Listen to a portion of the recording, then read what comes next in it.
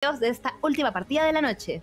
A ver, tenemos entonces Vipers para el lado izquierdo y Cremasis por para el lado derecho. Las serpientes sacando el sac y baneando la Caitlyn también, ¿eh? Y atención con Cremas que van a sacar el pick de la Karma para que no lo pueda jugar Shiku. De hecho, Shiku juega también bastante bien Karma. Me parece un, eh, un baneo muy correcto, orientado al lado de soporte. Tal vez ya no lo puedan combinar con el Ezreal. Y siguen atacando a Chico en el Draft Thunder. ¿eh? Van a banear ahora la Ashe. Están enfocando muchísimo el carril inferior. Se han dado cuenta que de hecho dentro de la composición de los chicos de la escuadra de Vipers hay jugadores que brillan mucho. ¿eh? Kurko cuando se le da un poquito de ventaja, Chico en las rotaciones y Baifalco cuando se le da también un pick en el cual el matchup uno contra uno tiene ventaja. ¿eh?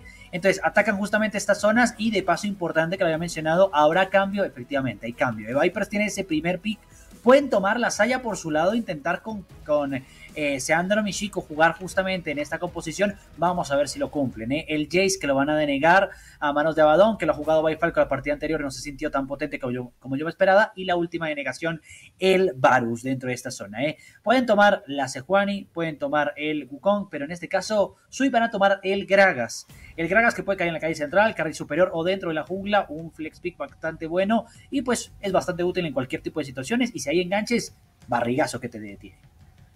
Sí, de hecho me gusta bastante la selección del Gragas justamente por lo que mencionas, ¿no? De que es un muy buen flex pick que además está bastante metido en el meta en este momento. El problema para mí es que piqueas a un Gragas sabiendo que del otro lado está todavía abierta la saya. Y es más, está abierta la saya y está abierta el Rakan. ¿Por qué? ¿Por qué se los han dejado tan gratuitos? la pregunta del millón es, ¿instapiquearán a ese Rakan en este momento después de haber sacado la saya? ¿O van a dejar que Vipers pueda tener esta selección? Parece que entonces desean que Vipers la tenga porque terminan eligiendo a la Lilia. Pocas Lilias hemos visto, pero las que nos han mostrado han estado interesantes, así que veremos si eso se mantiene ahora con Anataki.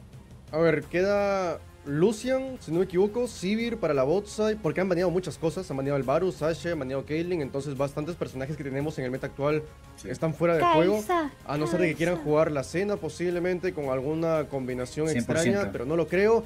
Ya no, a ver, a ver, a ver.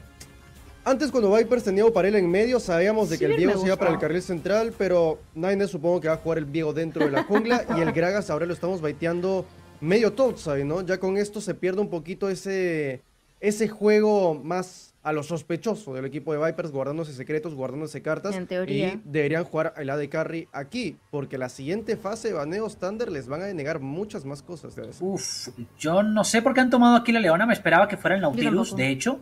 Eh, y jugar con Kaisa en el carril inferior y de hecho detener al posible Rakan que puede venir, ¿eh?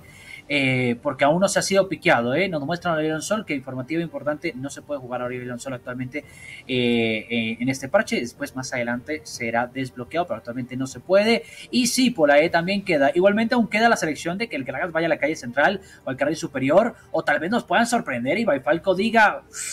Para adelante, Diego Top, adentro, listo, se cae, se, caiga dentro de esta zona.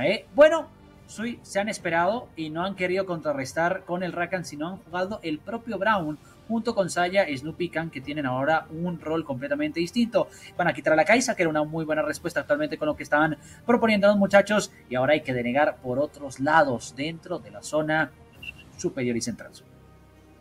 No me gusta nada la selección de Leona. Perfectamente pudiste haber cogido al carrilero inferior. Ya tenías a la Saya del otro lado. Ya sabías lo que iba a suceder. ¿Por qué no esperaste un poquito más el pick del support? Sobre todo si consideramos que, ok, la Leona te detiene al Rakan. Excelente. Pero no han piqueado Rakan. Y si bien es cierto que hay una alta probabilidad de que lo piqueen, pues no está todavía. Entonces, ¿por qué has cogido una Leona vendiéndola tan gratuitamente en contra de una Saya? No sé, me das un poco de ruido. Del otro lado que sacan entonces al Brown, la respuesta del Brown me parece interesante, no voy a decir que no. Y creo que ahora pues justamente Vipers va a tener que entonces, no sé, hacer magia con el carrilero inferior que vayan a sacar porque ya les quitaron a la Kaisa. Me gusta la idea de Sivir que mencionaste hace un rato, pero lo veo un poco difícil de ser sacada, considerando que ya tienen una leona de su lado. No creo que busquen una Civir leona para bot, pero ya después de que sacaron a la leona sin ver al soporte rival, yo no, sé qué pensar de, lo que vayan a piquear, la verdad. A ver, bajando en el tier queda Sivir S real, pero no combinan también con Leona. Y luego pues podríamos proponer Tristana Draven, ¿no? Que también son personajes que más o menos se han visto dentro del competitivo. Con Leona, digamos que combina bien. Pero es que el Bronde tiene muchas cosas y aparte creo que se podrían quedar sin, sin rango. Aún así, si Vipers, por ejemplo, se juega un Draven, Viego, Gragas, Leona, daño no les va a faltar. O sea, cualquiera puede llegar a ser one-shoteado y Vipers podría jugar este tipo de selecciones. Ahora, van a piquear algo de flex. Ok, se orienta para el Renekton que se puede jugar en el carril central combinado con la Lilia es bastante fuerte o el Renekton clásico de la Topside y ya veremos lo que Vipers finalmente quiere jugar en este caso. Uh. No, no lo han piqueado, ¿eh? No lo han piqueado, ¿eh? No hay forma. Esto es criminal. No hay forma. no hay forma. Sí, esto... Serafín, pero hay un Brown del otro lado, hay una Saya, hay una... O no hay forma. Es criminal, claro, es criminal, ¿eh? No creo, no Tiene que ser la Civir. No me creo, ¿eh? No me creo, ¿eh? La Civir es que a mí no me convence porque le falta rango, ¿eh? Si no, siempre la van a estar molestando, ¿eh? Yo quería el Draven, pero no, al final... Si es la Serafín, señores, ¿cómo dispararse en un pie? Automáticamente, ¿eh? Los muchachos de Vipers. En este caso, última selección. Aquí nos muestran el timo, un Nunazu. Uy, me encanta. El Nunazu es God. ¿Te has visto? Yo juego no, es God. Eh, vas con la bolita ahí. Y después, cuando estuneas a alguien, gritas cuando cargas el ulti. Yo soy feliz. Pero Darius, cuidado, cuidado fantasmal destello. No, te lo vas a creer, me creí la mentira. En este caso, Olaf, que cae dentro de la calle superior o dentro de la jungla. Aún las palabras no están dichas, los chicos de Vipers. Hoy, como dijo el meme, amanecí re loco y en este caso los chicos de Vipers pueden flexear estos tres picks, así que pueden jugar por donde quieran. En este caso, la escuadra de crema se queda con los aires completamente locos. ¿eh? Selección dentro de la jungla Sui puede caer, perdón, selección dentro de la calle central puede caer lo que sea, pero algo que mantenga el rango está más que bien. Mira, si te soy honesta, no pensé en el Olaf. La verdad no se me pasó por la cabeza. Ahora que veo al Olaf, digo, ok, la Serafín no está tan mal. Es cuestión de que aguanten tranquilitos en fase de líneas. Y después en las peleas por equipos puede ser una buena manera de, de bustear a ese Olaf que al final va a tener una leona que le va a acompañar con la iniciación. Y va a ser muy difícil que esa Saya pueda hacer algo. Pero ¿qué pasa? Que ese Casadin yo creo que va a estar súper feliz en esta partida. Yéndose por esa Serafín que a ver cómo logras escapar de él. Y también otra cosa, y es que si es que Brown usa bien su escudito, si usa bien ahí esa puerta gigantesca, no sé qué tanto puede apoyar Serafín con su definitiva, que esa también es otra. Entonces, creo que esta partida va a ser un skill matchup muy interesante por parte de las dos escuadras como composición hablando. Creo que Viper si propone en modo bolita, o sea, todos juntos, Sí pueden sacar cosas interesantes, ¿eh? Serafín con Olaf me parece un combo muy fuerte y bastante broken. Olaf prácticamente nunca se muere. Eh, quien, quien podría kaitear al Olaf, pues podría ser la Lilia, ¿no? Nataki va a tener ese trabajo, pero después el Brown lo pueden derretir. Snoopy si le gasta en la definitiva, una vez que la Saya aterriza en el suelo, Olaf sigue para adelante.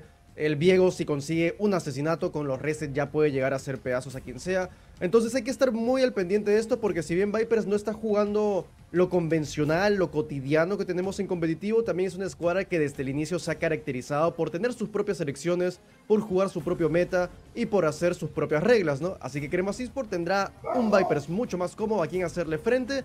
Sin embargo, sin embargo, aún pinta esa saya bastante fuerte, ese Abadón con Renekton también posiblemente pueda terminar sacando buenas cosas. No lo sé, Thunder, ¿eh? Yo creo que está bastante parejo en tema de personalidad de ambas escuadras. Efectivamente, ¿eh?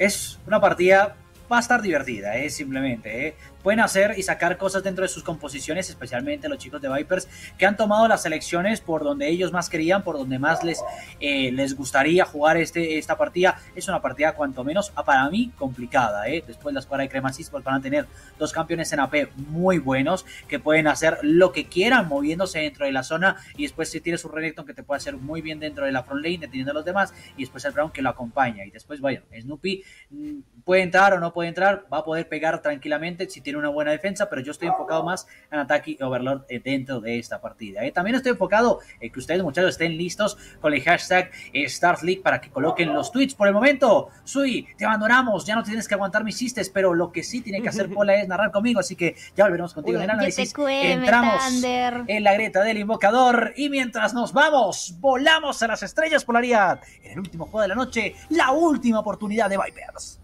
La última oportunidad de Vipers para empatar la serie o puede ser el 2 a 0 para el conjunto de Cremas Esport. Último juego en la jornada 13, así que vayan rapidito a activarse por las redes sociales con el hashtag StarLeague. No se pierdan nada, no se pierdan ni un solo detalle porque estamos súper activos por las redes sociales. Donde Thunder también te puedes enterar de los últimos datos, noticias, novedades, todo, todo, todo, todo con respecto al mundo de los videojuegos. porque sabes con quién lo puedes hacer. ¿Con quién? ¿Con quién? Lo puedes hacer con Hype Thunder, porque venimos completamente hypeados para este encuentro y puedes verlos también por sus redes sociales con el arroba hype-offi. Efectivamente, Hype no solo estamos nosotros, sino también están sus compañeros a través de sus redes sociales. Ya saben, arroba hype-ofi. Y también tienen que estar Hype, los muchachos de la escuadra de Eye, porque quieren que la escuadra de Vipers gane este enfrentamiento. Les conviene para estar más tranquilos, para estar mejor, que no se sumen los puntos, pero ya depende de ellos mismos. Recuerden, muchachos, ya saben, hashtag StarLeague para que nos comenten y sigan tuiteando. Tranquilos que ya tenemos ahí a los de producción sacando todos los tweets de la partida anterior, así que esperen su momento para ser saludados y para que entren también en vigencia esos bonitos tuitarzos. Hola, un minuto de partida, ya vemos bastante intromisión, misiones, un poquito van y vienen y ha empezado solo. Nines dentro de la mejora roja de la partida, ¿eh? Interesante el patín que hagan los dos jungleros de nuevo hacia la parte inferior del mapa. ¿eh? Me cuesta un poquito trabajo pensar o conocer por qué razón están tomando este patín constantemente los jungleros. Normalmente ¿eh? es un patín más cómodo. No sé, dudas tengo ahí. Es que hay muchos luchadores actualmente en el carril superior y aparte por la y también se define bastante por los soportes, la agresividad que tienen los AD carries. Entonces últimamente los jungleros también están comenzando sin leash. Que no es una regla que siempre se haga, pero varios junglers están comenzando sin ayuda. Y bueno, lo que sabemos, ¿no? Que es como que de lo más básico, no se puede traquear bien al jungla, eh, no tener información de dónde ha comenzado es muy útil para ambas escuadras y en este caso tanto Vipers como Crema Esports se mantienen con la misma estrategia. Por la Totsa y Faco acaba de pushar Thunder una oleada tremenda y ya está vaqueando antes del minuto 3. No, no, no, eh, lo que normalmente ah. hace Olaf, eh, va a baitear eh, y va a molestar de hecho bajo la torreta para que Abaddon no pueda llevarse nada de farm y esto es muy bueno, eh, es un match favorable. Mientras tanto vemos a Kurko con esta skin de Gragas espectacular. No han sacado mi Gragas Guardián Estelar, pero sí esta onda espacial que se puede bailar, se puede sentir el poder del amor. Pero lo que sí nos siente en este caso Overlord es la tranquilidad de la calle central. Y aquí tenemos los tweets en pantalla, ¿eh? ¡Ay, me ha colocado el perrito, lo quiero! Slaves, ahí lo tenemos con el hashtag Starleague dice, vamos cremas es necesario ganar y también es necesario la anataquineta. Y ha sacado la línea en esta partida para ir volando en este caso corriendo a cuatro patas y en este caso también a cuatro llantas. A máxima velocidad de Anataquineta. Entonces tenemos al congrero de Cremas por Cuidado también el carril central. Eh. Overlord jugando Casadin. Un personaje que es bastante pasivo al inicio. Pero sabemos que la personalidad del mid laner de Cremas bueno, es bastante conocida más que todo porque no le tiene miedo a nada, ¿no? Los enfrentamientos uno versus uno, el muchacho jamás dice que no, jamás rechaza este tipo de propuestas. Por ahora Kurko que se queda sin maná, menos de la mitad de la vía, trata de concretar los últimos golpes y sobre todo evita perder la presión porque Nines también está por el área tomando el escurridizo. Mucho más rápida la participación del junglero de Vipers, mientras que Ataki aún debe farmear. Aquí, eh, gran comentario de un buen coach que apoya no a su escuadra competitiva, no les hace ni un tweet, pero para los rivales sí. Esto es increíble. Davids que nos comenta, hashtag Starlist, vamos Vipers, Pac-Man. Maravilloso, ¿eh? Davids, el momento ha llegado de apoyar a una escuadra y no es la mía, es la de otro. ah, bueno.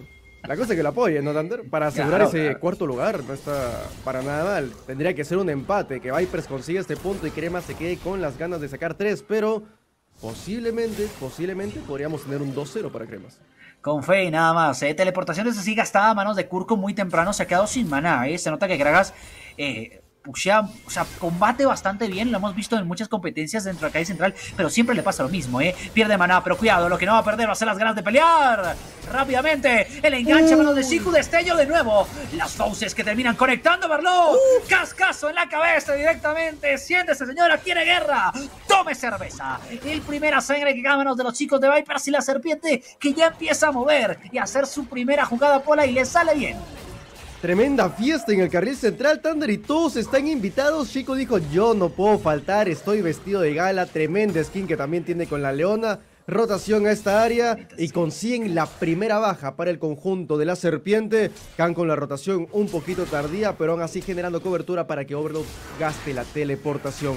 Un juego bastante agresivo, ¿eh? Por la y también. Abadón jugándole a Baifalco. Al manitas calientes. Baifalco que se lanza también con el fantasmal. Destello agresivo con destello defensivo. Ambos toblenes que ya no tienen este recurso, pero el conjunto de Viper Standard va a sacar la primera Dragona Hex. Uf, lo que ha arriesgado en esta situación Abadón para poder meter toda esa wave y pensó que tal vez podía conseguir el nivel 6, pero cuidado, sale el dragón de hashtag, pero quieren uh. cazar a Sandro. Bastante buen destello para escaparse de la zona. Overlord no puede hacer los milagros, puede intentar entrar, efectivamente. Se mete en contra de todo, lo detienen en seco, se mete Shiku, recibe daño, tanquea Khan, en la potencia, detrás de mí le dicen, aguanta, detienen a Naines, se termina muriendo. Una bola del vacío rescata el asesinato a manos de Overlord y mientras tanto la Nataquineta gira volando, tremendo combo, tremendo baiteo, tremendo baile. que le hace Kurko? Le dice para aquí, para allá. Es futbolista, no, es dolero. Kurko que se salva de la situación. Y querido Pola, van a llevarse el dragón, pero la torreta, la presión en el calle central se pierde. Van a intentar de defenderla con garras siguientes.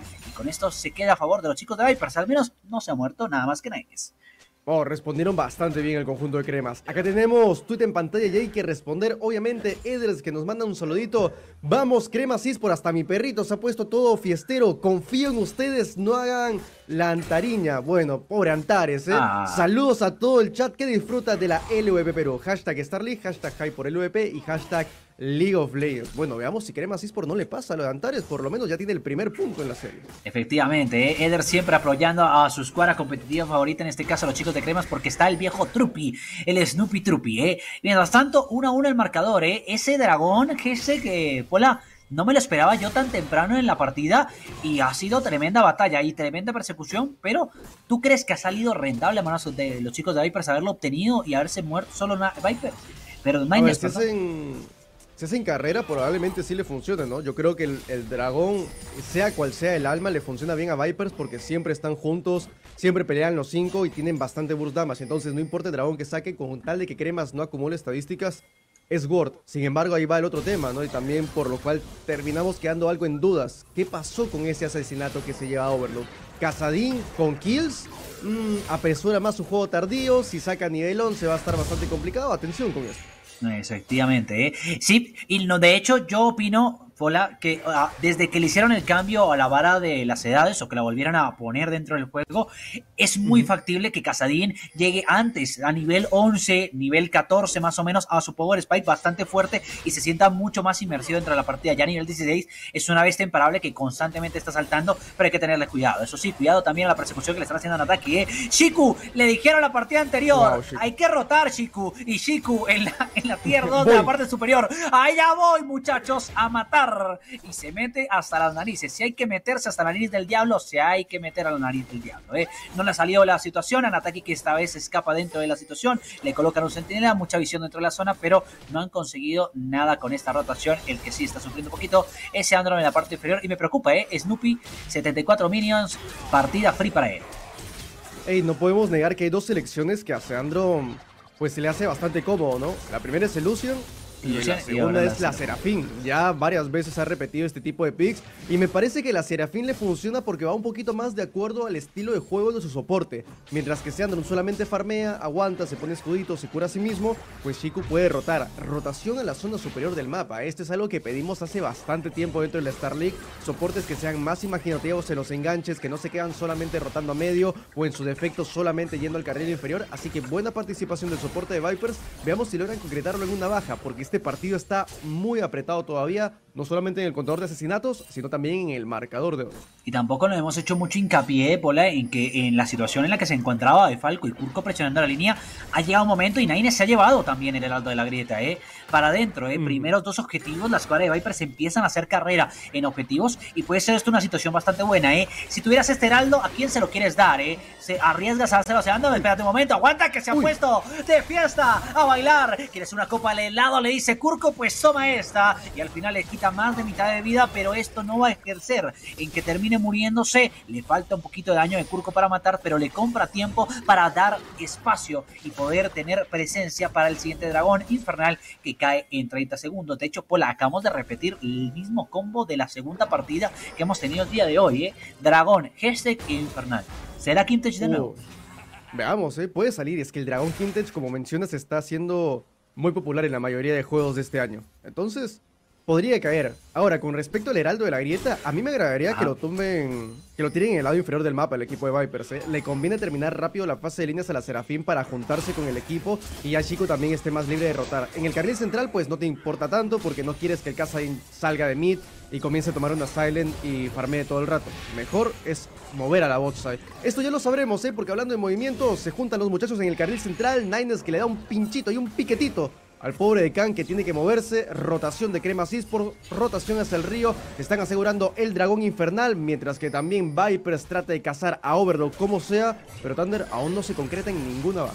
Como decía la comedia, ¿eh? si se juntan los mares y los ríos, ¿por qué no se junta tu equipo con el mío? Y en este caso se va a juntar también el Heraldo de la Grieta que hace presencia. Sale a destruir plaquitas dentro de la calle central para llegar a hacer este dragón infernal. De hecho, está bastante tocado. Se lo pueden robar. Se queda. Uh. ¡Qué regalito le han tomado! Ha cantado la otra, pero no ha conectado. An ataque que se ven problemas. Tiene que escaparse rápidamente Snoopy. ¿Qué tiene? La lluvia de plumas se lleva el asesinato en contra de Naines. Intenta escapar y sobrevive. Allí llegan los apoyos de los muchachos de la escuadra de crema, dejando un segundo asesinato para Snoopy. Va corriendo por el tercero. Kurka en problemas. Empieza a verlo. Es sobrecargado. Agarrando. Déjenle una kill. Ahí está se lo termina llevando Overlord compitiendo entre Snoopy y Overlord. ¿Quién se queda el MVP en esta partida? Termina siendo Dragón, pero Pola. Asesinatos que van sumando la diferencia y el poder de los carries principales de la escuadra de Cremas. Dos objetivos para Vipers, muy importantes, sí, pero Cremas por acá de sacar una teamfight maravillosa. Una teamfight donde forzaron los recursos al límite. Y Thunder, yo creo que Cremas está comenzando a leer ese cuarto lugar. ¿eh? Red no le va a durar demasiado tiempo esa posición. Parece que Cremas se lo quiere robar como sea. A no ser de que Vipers logre sacarse un truquito debajo de la manga. Y ese truco puede llamarse Bifalco. Aún no juntamos a la Serafín con el Olaf, que es la teamfight más fuerte que tiene el conjunto de Vipers. Dos dragones llegan el bolsillo. Tenemos dragón de los océanos como grieta elemental que no viene para nada mal, siempre y cuando Cremas no tenga dragones, yo creo que Vipers lo celebra. De hecho, es un dragón espectacular. Imagínate la supervivencia que van a tener no solo con un Gragas, el Olaf y la Serafín. Puede, si consiguen el alma, es un alma que es muy buena, especialmente para buscar el desgaste, al fin y al cabo, de los muchachos de la escuadra de cremas que no tienen esa sustentabilidad tan buena como lo tienen sus rivales. ¿eh? 12 minutos de juego y la partida desnivela al menos un poquito, pero lo que no desnivela Pola es la diferencia en oro. ¿eh? Se mantiene en igualdad de condiciones para los dos y ya se pone agresivo. ¿eh? Overlord se ha dado cuenta de que con dos asesinatos un poquito más de presencia puede ganar el matchup uno contra uno y Gokurko le tiene que jugar con el rango. Khan, que ya se encuentra también dentro de la zona central del mapa, hacer el apoyo y no a pasar a mayores. ¿eh? Hasta que no tenga tengamos el segundo heraldo, que si no estoy mal, eh, hecho a minuto 8, eh, sale a minuto 15 o casi al 16, no vamos a tener tampoco mucha intromisión en la partida. Esta partida se podría resumir en intercambios constantes en el carril central, ¿no? Porque Kurko y Overlord a cada rato se están pegando, no importa cuándo. ¡Uh! Destello, ¿eh? Destello del mid laner de cremas para evitar todo el explosivo de Kurko. Se veía bastante amenazante, pero ya estaba Khan junto con Anataki por el área para defender a su compañero. Ya está rotando bastante ambas escuadras. ¿eh? El carril central está siendo el foco de atención, está siendo el escenario para el show. Y mientras tanto, Thunder en la botside, pues bien, gracias. Está bastante chévere el farmeo. Sí, bueno, están todos tranquilos, ¿eh? Snoopy, de hecho, por encima de todos los jugadores de esta partida, exceptuando a Falco que le lleva dos minions o tres minions, más o menos. El que llegue primero a la línea termina ganando no ha pasado mayores, ¿eh? Todos relajados, todos tranquilos, farmeando. Ya llegará nuestro momento de hacer la presente de la partida. Y es que les conviene a los chicos de Cremas, ¿no? Tienen un eh, también tienen una Lilia. Después van a tener su intromisión. Y Snoopy va a estar gordito y bonito en esta partida. Pero eso sí, están jugando muy bien. Pola ha sido minuto 14, de hecho 14 con, con 25 segundos, 21 segundos que se ha quedado. Así que se lo han hecho muy bien. Se me falta contar, ¿eh? Me falta contar un poquito más la experiencia de los bufos. En este caso van a aglomerarse para pelear el heraldo de la grieta.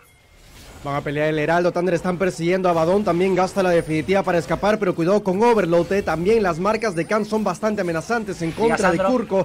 El Heraldo que se reinicia, ya llegó Snoopy, ya llegaron los carries. Y Viper se ve mucho más fuerte, pero atención con Cremas que se lanza rapidísimo, el control de masas que lo evita, excelente, Falco. Sale huyendo, escapa el conjunto de Vipers por la y se lanza también Chico, pero en la boca del equipo de Cremas, en la cancha de Cremas no se juega, sacan el asesinato fácil, busca también a Kurko, Dos jugadores de Vipers que caen y dos de la mano de Abadón. El Renekton que se acaba de poner bastante fuerte. Eso sí, Nines que todavía insiste en la jugada. Están persiguiendo Overload. Definitiva de Sandro que colapsa. Dos bajas por el equipo de Vipers. Cae Abadón, cae Overload. Y ahora sí Cremas no está seguro de tomar el Heraldo Thunder. Se sobreextendieron los muchachos de Cremas Esports. Ya tenían la teamfight ganada. Pero dos jugadores querían un poquito más. Y ahora tenemos 3 a 3 dentro de los muchachos que están dentro del río. El Heraldo que es el cuarto jugador no pelea para nadie. Nines que elige el focus. Dice que acá va a ser el focus. Cuidado con Snoopy que también lo ralentiza bastante.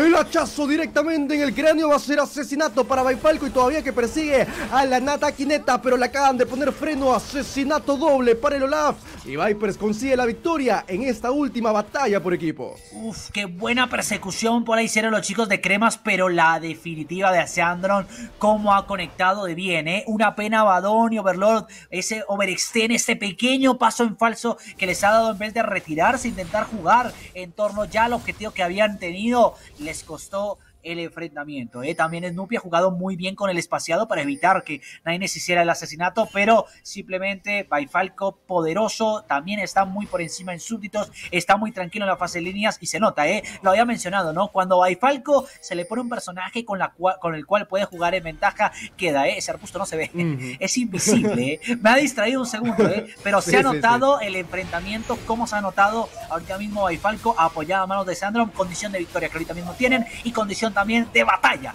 que están preparando los muchachos de la escuela de Vipers porque viene Dragón y lo quieren pelear los chicos de Cremas. Va a volver a pelear Thunder Snoopy no tiene la definitiva atención por acá de caer al ataque bastante rápido. Se lanza al corazón de la batalla. Khan que también lo sigue hacia el cementerio. El conjunto de Vipers está imbajable, imbatible. Tercer dragón de los océanos para ellos. Ese Thunder están imbajables. Como menciona Serafín como Olaf. Era cuestión de tiempo para que combinen los muchachos y los jugadores de cremas no saben cómo responder. Esto es increíble, la escuela de Vipers, la serpiente, que no está haciendo el, el ¿cómo se llama? La serpiente que se come eh, a, sí misma es tan grande. El, eh, el círculo de, de la... De, el círculo de la lujuria, ¿no? El círculo de la gula en este caso, se me olvidó, ¿eh? Ah, hay, hay, hay, una esta, ¿eh? Rúnica, pero se me ha olvidado, ¿eh? Pensé que iba a decir Aorus, pero no, no es Aorus, es completamente distinta, ¿eh? Sí, pero eso es todo. Uroboros, ahí está, muchas gracias Snake, ahí le está. La serpiente por fin, en vez de comerse a ellos mismos, se están comiendo al rival, Pola. Son inmatables, imbajables y en este caso se Seandron espectacular. Está teniendo una participación muy importante dentro del juego junto con Naines y la condición de victoria. El alma se va a cumplir, ¿eh? Y a Shiku, que igualmente, por hay que mencionarlo, ¿eh? se está lanzando como un absolutamente loco y demente, le está aguantando lo suficiente para que la partida les esté dando todo su favor.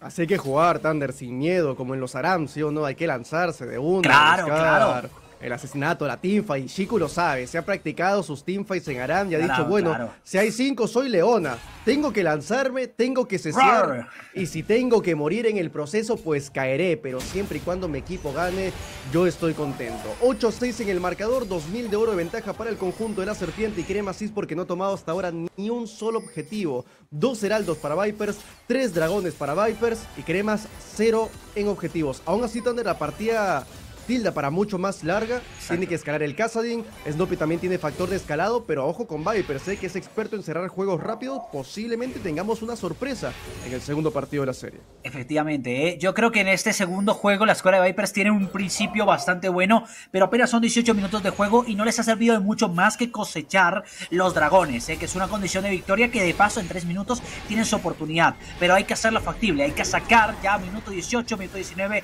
las torretas, hay que empezar a hacerme hoy empezar a, tener esa ventaja en oro y que se sienta, y de hecho se siente bastante, mientras molestaban a Kurk en la parte inferior, a Nataki y Overlord, intentan conseguir y consiguen eh, lo que es esta torreta, pero viene el flanqueo rápidamente, la teleportación, Overlord, intenta hacer el daño, perfecto, casi burstean a Nataki, persigue, lo consigue, perfecto, la batalla por equipos que se divide perfectamente, Kurko termina muriendo, Nataki en problemas, aguanta bastante, pero mira, se ha muerto Seandro, pero no importa, Snoopy se quite al mundo, pero Lola hace presencia, yo soy el vikingo, como palomas, no, en este caso, como pajaritos todas las mañanas, me destrozo el carne de nuestros compañeros y en este caso se destroza a los chicos de Cremas Esports que se han venido con todas las cremas pola, no, lo que en este caso destrozan el carril central entero, primera, segunda torreta, inhibidor. Uy, peligroso, pero a minuto 20 cuentas. Significa que esto, los muchachos de la escuela de Viper van por todas. Ey, el Olaf ha sido clave dentro del draft para el equipo de Vipers con la Serafín, está siendo un gran problema y Snoopy no hay que negarlo, estuvo bien posicionado. Pudo pegar muchísimo, setió bastantes dagaplumas en el piso, sin embargo, Overlord fue deleteado. Anataki también trató de hacer lo imposible, gastándole el destello con la definitiva y a ver si hacía el gran combo de Lilia. Pero no creo que ese sea el juego que necesite plantear cremas contra Vipers. El partido contra Vipers es lento, despacio, un pica para buscar ganarle a la Leona, ganarle a la Serafín. Porque si tratan de plantear un Olin, es que a Byfalcon no lo va a parar nadie. Hay que esperar que se le vaya el Ragnarok a Olaf porque si no te hace pedazos y Cremas no lo está entendiendo. Y Viper Thunder que lo sigue aprovechando una y otra vez. Y así va pasando el tiempo y solamente falta un minuto para el cuarto dragón del juego que podría ser el alma para Viper. Efectivamente, y después de lo que ha sido esta batalla por equipos, no solo han ido un poquito avariciosos por esa, eh, esa tripleta, ¿no? Entre Torreta, la calle central, segunda y tercera con el inhibidor, sino que también esto les puede dar la presión que necesitan para tener presencia frente al último objetivo, ¿eh? Pero sí es cierto que el inhibidor contra un Casadín le puede dar muchísimo tiempo, pero lo Overlord, Overlord no está jugando justamente este entorno, tiene la teleportación, así que todo el farmeo va a caer a manos de Snoopy, ¿eh? 21 minutos de juego, bola 30 segundos, se preparan, hacen bolitas, se vaquea Badón, tiene teleportación, está listo en ataque, ha conseguido maná, se ha hecho el grompo. Se prepara.